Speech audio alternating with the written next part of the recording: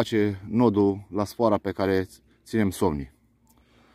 Varianta cea mai simplă și cea mai eficientă pentru noi de ani de zile este introducerea uh, aței, uh, sforii, prin uh, gură, scoaterea ei prin branchii.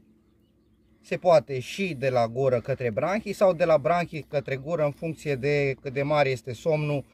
După aceea se face o buclă, o buclă simplă, deci o buclă simplă. Se formează primul nod. Atenție mare să fie pe strângere, așa. După aceea se face un nod de siguranță. Nodul acesta de siguranță ne oferă încrederea că somnul va rămâne al nostru